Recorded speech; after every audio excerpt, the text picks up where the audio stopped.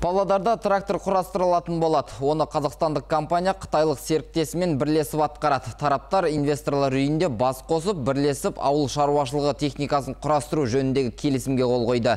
Меморандумға қол қою рәсіміне облыс әкімінің орынбасары Арыстан Қабыкенов қатысты. Тракторларды жинау Павлодардың бұрынғы автобазасы алаңында жүзеге асырылмақ. Жақын уақытта кәсіпорынға Қытайдан құрастыру желісі жеткізіледі. Қуаттылығы 300 аттың күшіне тең келетін техниканың алғашқы легін 2020 жылдың күзгі жиын терім жұмыстарына дейін көпшілікке таныстыру жоспарланған. Проект будет э, строиться в три этапа. Жобаны үш кезеңге бөліп жүзеге асыруды жоспарлап отырмыз. Қазіргі базаның қолданыстағы инфрақұрылымын пайдалана отырып, жылына 3000 трактор құрастыру қолға алынады. Жаңадан 50 жұмыс орны ашылады. Егер бәрі жоспар бойынша жүретін болса, 2021 жылы Павлодар арнайы экономикалық аймағының аумағынан әлдеқайда үлкен кәсіпорын салуды бастаймыз. Года.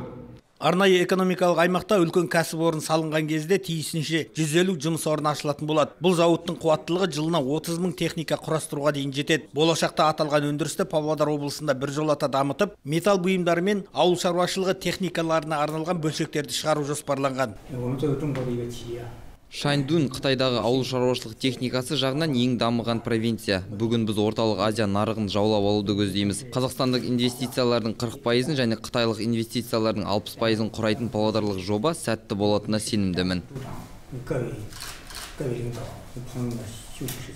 инвестор болашақ тракторлардың қазақстанда ғана емес жақын шет мемлекеттерде де сұранысқа ие болатынына сенімді. Олардың басты артықшылығы бағасында павлодарлық трактордың құны шамамен 130-150 мың долларды құрайтын болады. Ал дәл осындай америкалық еуропалық техникалар 500-700 мың доллар тұрады. Оның үстіне кәсіпорын өз тракторларын лизингке беру және ауыл шаруашылығы өнімдеріне айырбастауға әзір. Есенбек санатұлы әмір ерланұлы ертіс ақпарат.